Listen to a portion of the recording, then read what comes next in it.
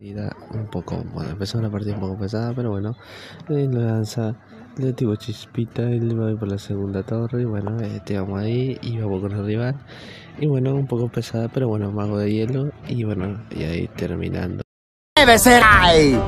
¡Bestia de la venganza, fabricante de viudas! ¡Sí! ¡Por fin! ¡Gracias!